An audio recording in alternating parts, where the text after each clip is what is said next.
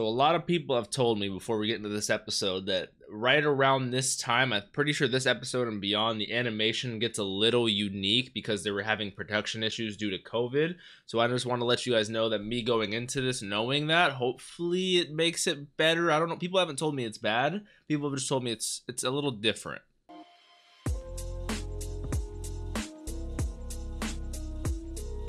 What's up, Dapper Squad? It's your boy Darius back at it again with Haikyuu Season 4 or To the Top, Episode 15. This one is called Found.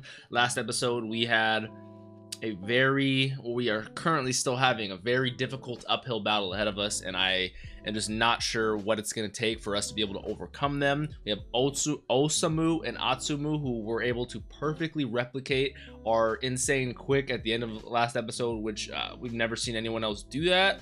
We never, like, the, the amount of teamwork and potential these two have, let alone their whole team, is just crazy. And then we have Aran, who's just nasty as well. We have everyone else. We have Kita, who's who's nasty. Just so many people. We have Suna, also nasty. So many people uh, dealing with difficult serves, dealing with difficult attacks, difficult good defense. It's just all around. We're going against national style, national level teams, and this is very difficult but I cannot wait for us to figure out what we need to do and then obviously execute it and do it. So I say we jump right on into this. I am excited. Real quick though, remember if you guys want early access and full length to this show and all the other shows I'm watching like Jujutsu Kaisen, Black Clover, many many more to come in the future. We are four episodes ahead. That Patreon link will always be in the description for you guys. I do want to let you guys know if you guys see me rubbing my eyes at all or anything like that, then it's because of my allergies. My allergies have been going crazy. I've been blowing my nose a lot. Spring and summertime is horrible for me. I just want to let you guys know that we have a lot of new subscribers around here who weren't here last spring and summer. But I just want to get right into this episode. Haikyuu, um, season four or to the top, episode 15 called Found. Let's do it. I mean, it's something that very, I don't even know, man. It's just crazy that they're able to do that. No one's been able to do that before. Would be a unique level of trust and, and stuff like that, you know?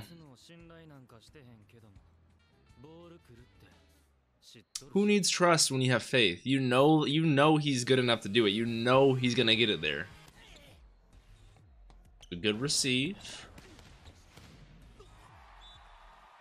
I mean, how are you gonna play defense against Hinata's quick when no other team, because no one else could do that, right?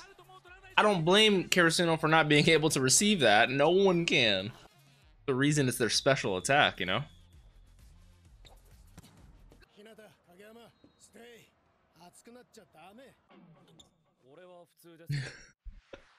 Nothing ever phases Kageyama. It's always Hinata, though.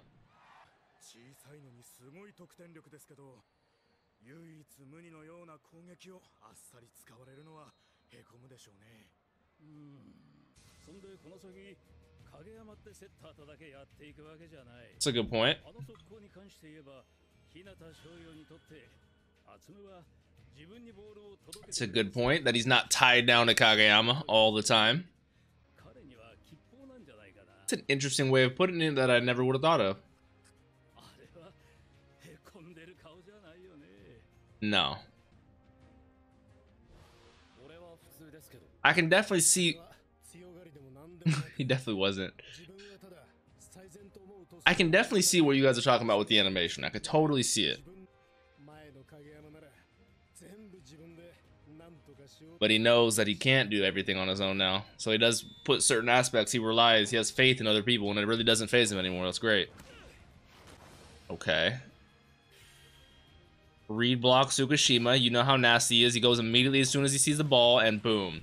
That's my boy. Best boy. Read block legend right here.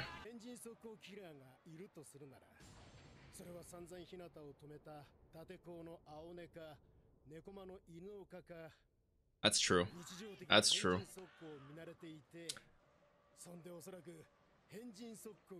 He's happy. So Inuoka, who's played against it multiple times, Aone, who's played against it multiple times, and then Tsukishima, who's seen it multiple times, knows how to do it. I like I like that addition to the list, and I like the reasoning before that. I like how happy he is. That is hilarious. Read block Tsuki again. One touch. One touch. Legend.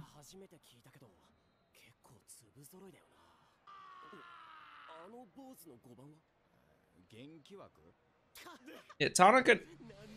Oh.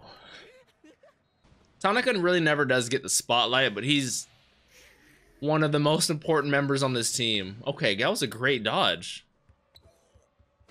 That's us, right? Yeah.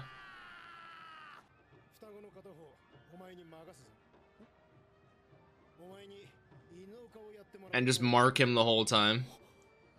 Inuoka would do that do that with I love the I still love the drums and the everything from our squad. That's exactly what Inuoka would do to uh, Hinata. I know. You can see him take a couple steps back. I even got excited, just like Bokuto. Come up, come up, force him to get as high as he can. You little shit, why'd you serve it so high? why'd you set it so high, I mean? Hey, it's because we know Tsuki can do it. Let's go. I love how he drew that out of him, too. He said, you little...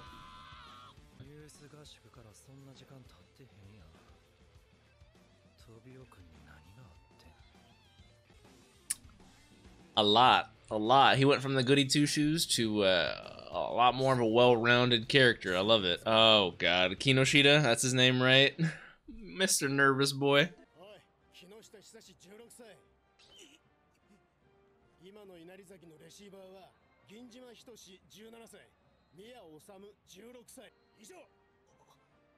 All right, all the details, all the info you needed. Now he's about to do this true. These are just other high school students. They're just like you. Now, boy, got this.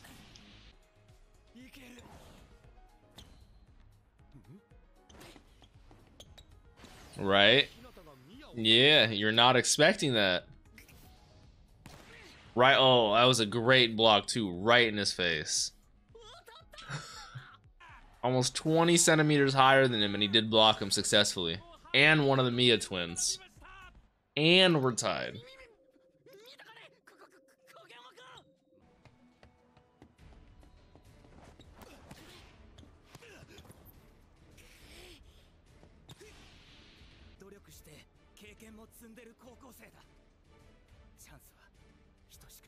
I don't know about that. I, I do like your faith in your teammates, but I also think you should have more faith in yourself.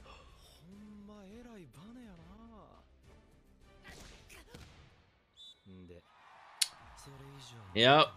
He definitely has number one when it comes to bounce, hops, you know, but Osamu, a lot of guys have strength, experience, a lot of these other attributes that are just out level us, you know.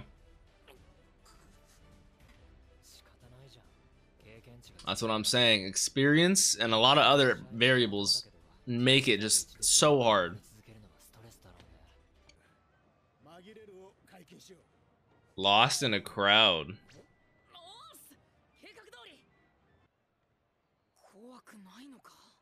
怖えブロックっつったらやっぱり。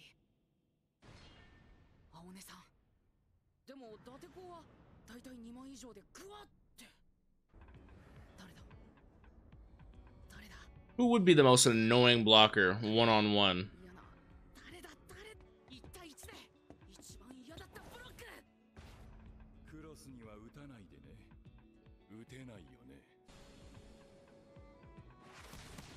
Oh, is he forcing? Yeah, he was forcing him to hit a straight shot because that flashback said you're not hitting a cross. But whose voice was that? Sounded like Ushijima at first. Get lost in the crowd, so we're definitely doing that very well. Okay, nice. Great. I want to know who he thought was the most. Maybe I'll catch it during editing or something. Maybe I'll rewatch that part in a second. Oh, oh, how am I forgetting his name? Aoba Johsai. I actually really like them as well. Is that Matsun? That was he was next to Hanamaki, right? I have all their names written down. So we're tied up 2020. That's great. Yep. Oops, okay. I like that observation, coach.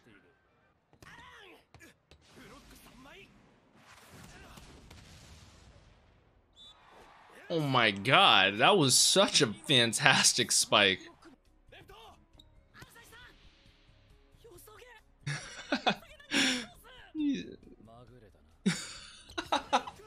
I love these guys. Ooh, he went for a... Oh, he did it on accident. He accidentally fainted, dinked, and it still worked. Let's go.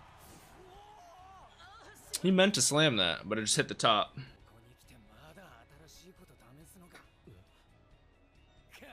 Those damn crows. I think that was an accident, I'm pretty sure.